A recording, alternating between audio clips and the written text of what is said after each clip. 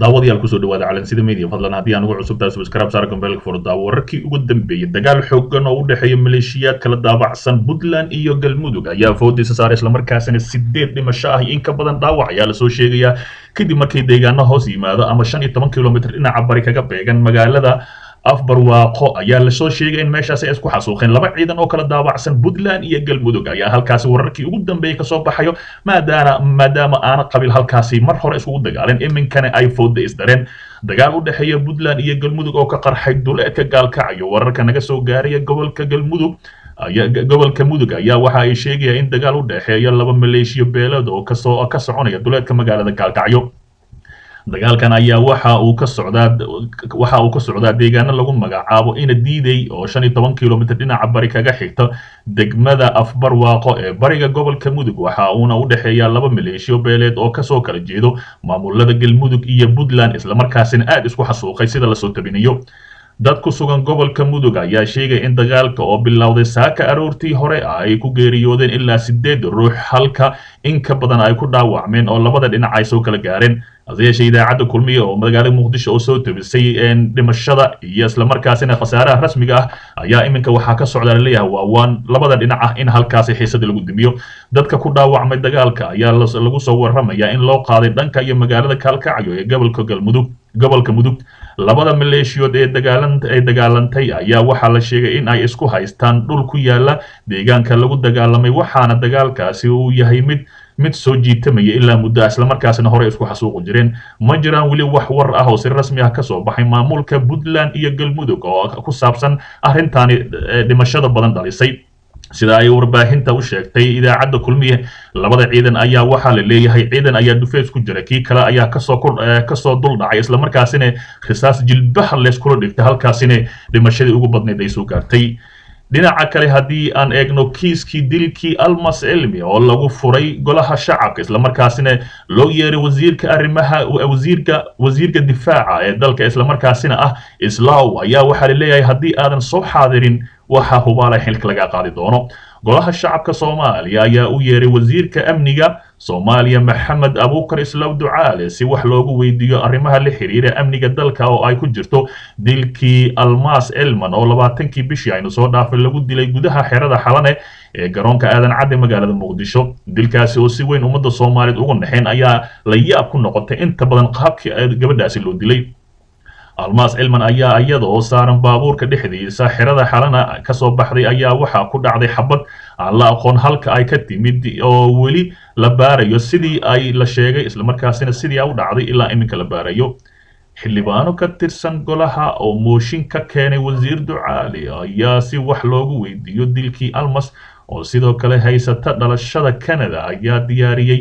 ayaa diyaariyey weydiimo arrimahaasi la xiriira hase yeeshee dhowr mar ayuu ka gaabsaday ninka wasiirka amniga islamarkaasina iminka waxaa la leeyahay kama dambays haddii aad imaanin xilka ayaad ku weynaysaa lama oga in qoyska elmas ay fadhiga imaan doonaan iyo in kale hase yeeshee waxay horay u dalbadeen in soomaaliya iyo dowladda canada ay baaritaan rasmi ah oo cad oo ku sameeyaan dilkii walaashayn allah u naxariistee. Waxaanu jeclaan lahaynay in dilkii almaas si buuxda loo baaro. Waxaanu codsanaynaa in ay dowladda soomaaliya iyo canada si wadajir ah oo qoto dheer arrintani u baaraan maadaama ay lahayd labada dhalasho ee labada dal ayaa lagu yiri qoraal ka soo baxay. Horaantii bishii la soo dhaafay qoyskii ay ka dhimantay almaas almaas cilmi allah u naxariistee wasiirka amniga wasiirka amniga qaranka maxamed abuukar ducaali islaaw ayaa lagu wargeliyey inuu axadda hor yimaado golaha shacabka si su'aalo loogu weydiiyo dhammaan dilkii iyo amniga gudaha islamarkaasina oo in muddo ah ka dhudhuumanayay. Wasiir islaaw oo gacan weyn ka haysta ra'iisul wasaare xasan cali kheyre iyo xildhibaanada daabacsan nabad iyo nolol ayaa inta badan difaaci jira. Hase ahaatee maanta waxaa la leeyahay waa kama dambays waa inaad axadda timaadaa si su'aal lagu weydiiyo. Afar iyo labaatankii bishii hore wasiirka amniga gudaha maxamed abuukar islaaw ducaali ayaa la socdeen. Taliyaha ciidamada booliiska soomaaliya cabdi xasan maxamed xijaar iyo taliyaha hay'adda socdaalka maxamed aadan jimcaali kofi ayaa lagu diiday warbixin ay siin rabeen guddiga joogtada ah ee golaha shacabka iyadoo oo loo ballamiyey kulanka weyn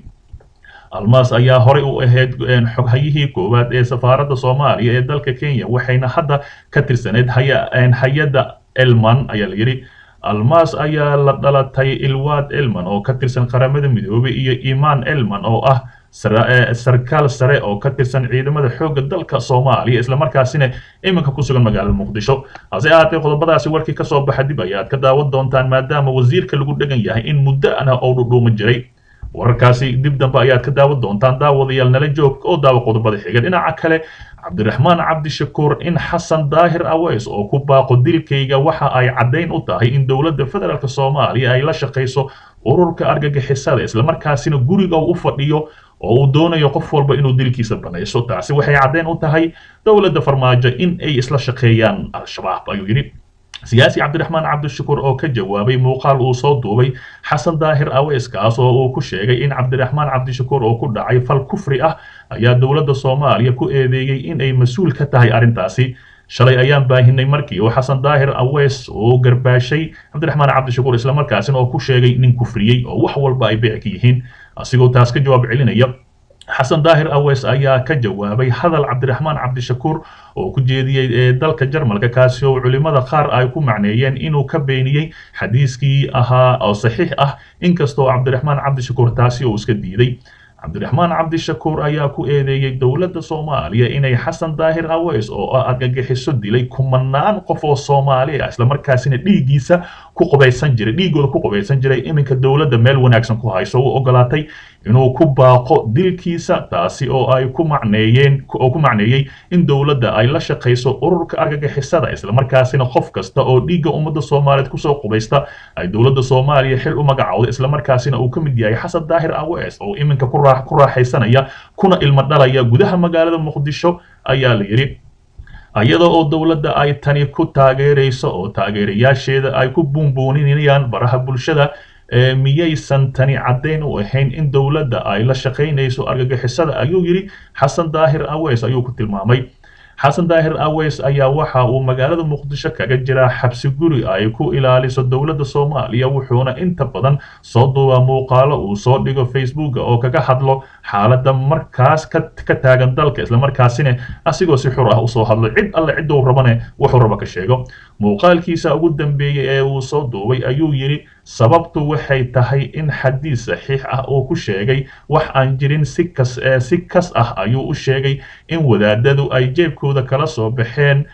Qadkaas inuu ka cab ka cabirana waa kufri waxaana hubaa inuu garanayo. Xadiiskaas oo cabdiraxmaan waxa uu leeyahay aqoon dheeriya ayuu yidhi xasan daahir aweys qoraal uu shalay soo dhigay facebooka uu kaga hadlay arrintan muranka dhalisay waxa uu cabdiraxmaan cabdishakuur ku yidhi aniga waxaa sheegay in culimmada qaarkood ay dumarka si bareer ah duudsiiyaan xuquuqdooda iyo kaalintooda siyaasadeed iyagoo sheegay in caqligooda iyo diintooda ay yihiin kuwa dhiman oo naaqus ah. Waxaa kaloo sheegay in in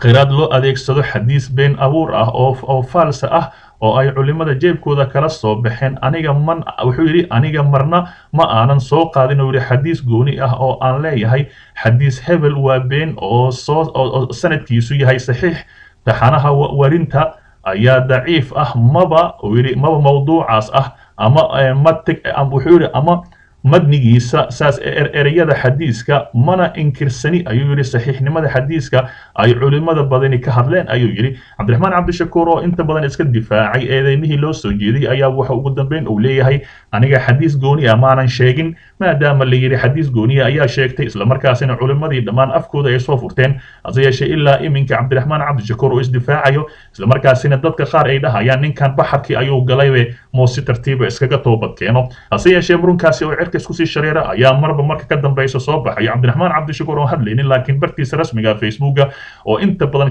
kaga soo jawaabo ayaa waxa uu noqday shiikh walboo caan ah markii uu soo hadlo inuu jawaab culus siiyo. Halkaa naga daawanaysaan waa calansida media. Fadlan nala joog oo daawo wararkayna xigo xiiso badan subscribe saar oo gambeelka fur